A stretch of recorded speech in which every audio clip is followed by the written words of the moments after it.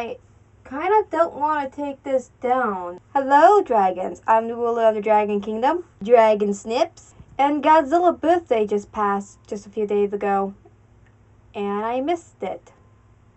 Yeah, he just turned 68 years old. Wait, how old Godzilla gonna be again? I want to double check real quick.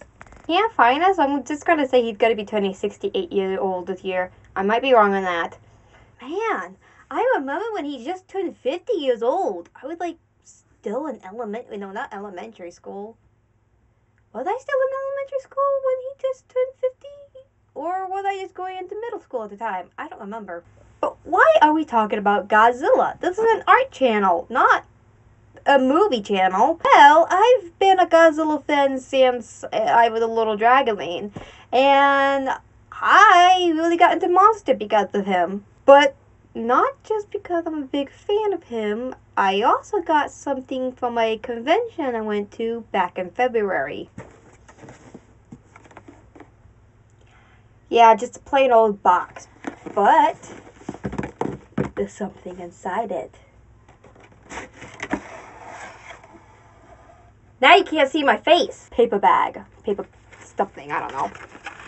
But inside it's like a 3D model of the big G. Well, just part of him actually. I gotta put this big guy together. I've always wanted to play with 3D models and 3D printing and all that stuff, but I don't have a 3D printer and I don't really have the space for a 3D printer nor the money for a 3D printer. So I gotta settle with this that I have that now that I spend an eternity staring at and trying to figure out how to put it together. But I'm happy. So let's grab this box and take it out to the uh, my art decks and put it all together. Before we get started with the video, I wanted to say that my editing style is based on both Moriah Elizabeth and Graveyard Loon. So we're clear on that. Now it's time to bring out this box that I hold on to since February. And we're just going to open this buddy up so after removing the paper bag and removing the 3D pieces out of the box, my first initial thought about this whole thing was, what the heck are those holes for? And here I go, shoving up an arm toward the camera. No idea what was going through my mind at the time. It's been a while. Now what I do remember is that I did a test before starting this video, and I wanted to see if I can sand this thing down. I don't know if you can tell, the 3D model is a little bit too shiny. I don't know if it's going to be seen on camera or not. So I grabbed a piece of a sandpaper and a few more sanding tools and got to work. Also, if you wanted to know where I got in the 3D model, I believe this is where I got in the model. Just found it under the stand of the thing. Now, there are the few reasons why I wanted to sand it down. And you already know one of the reasons. The second reason was to help the paint to stick onto this model. I don't really remember what type of filament this model is made out of, but the way it looked, it's probably resin. So I'm sanding this down, not enough to get rid of the details. I am very careful when it comes to the small details on this model. I just want to get rid of the shininess on it, not try to get rid of the details. So I made sure that I sanded down all the pieces down first and then clean them before moving on to the next stage. I cleaned them off camera. I still have no idea what these holes are for for the model, but um, my guess is where the, it stands when it's being printed out in the 3D printer, but other than that, I really don't know or have any idea what it's for.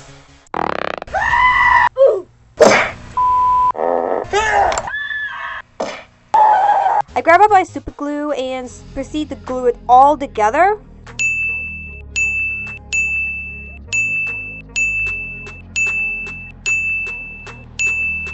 All of the pieces are glued together except for the base because I wanted to save that for last.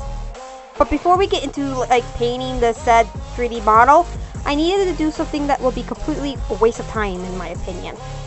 I grabbed out my epoxy sculpt next that I had way longer than the YouTube channel even started. And I wanted to use the epoxy sculpt for like filling in some of those big cracks that Godzilla had that um, when I was gluing the pieces together didn't kind of, I don't know, maybe I didn't fit it in right when I was gluing it in, or I kind of missed it when I was gluing it. And also to make it look like it was seamless. Also the fact that um, I was starting to get really bored and frustrated with this, and I and I really wanted to get into the painting part of this project. So yeah, I set aside the epoxy sculpt and went into the process of painting. Hey, now this had happened before when I was doing projects like my last video, a few video back when I was doing the fix and finish, I got like so bored. I just wanted to kind of finish the project. This can be a good thing and this can be a bad thing, but we're not going to get into that right now. Now for the base coat of the model, I had planned to use my airbrush because again, I worked on this project while I was getting cold, but I still had no idea how to use the airbrush and like I said, I wanted to get the painting done, so I pretty much took the, this uh, 3D model outside and spray paint him down. Once he's got completely covered in white paint, I went ahead and worked on Godzilla first before moving on to the base. I covered him up in a gray coloration that I've already mixed, like I mixed this gray color a long time ago.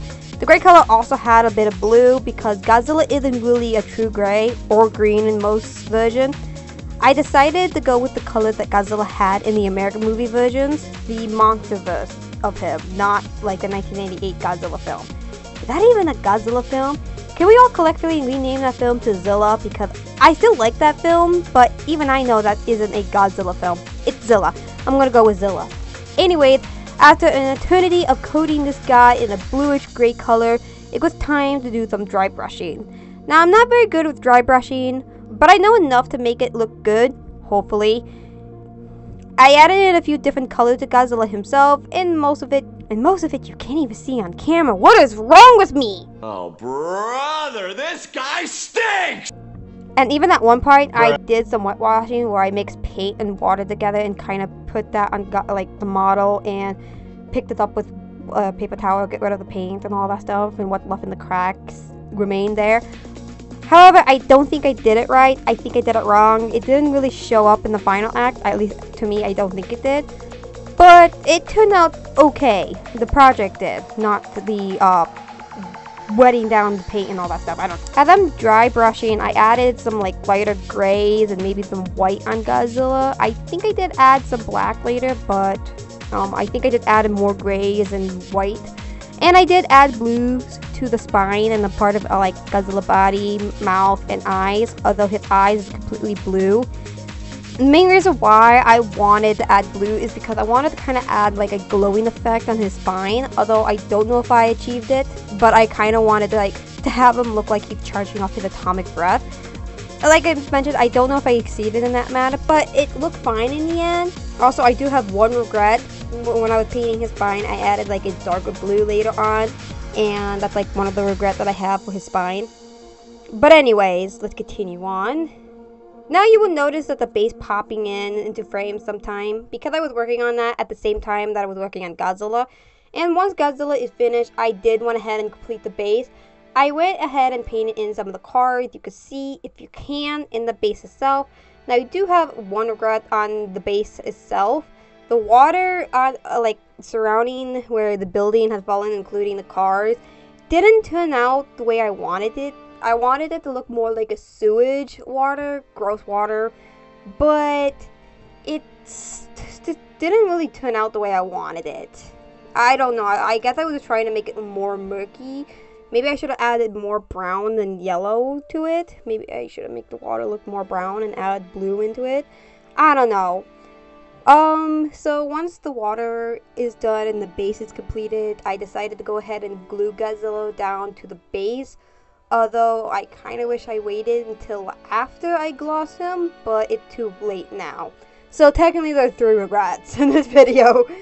So once I've done, so once I'm done like um, gluing him down into the base, I went ahead and added several layer of gloss onto him. Um, because I like things glossy. I don't know. It just make it look complete in my opinion. And he is finally done.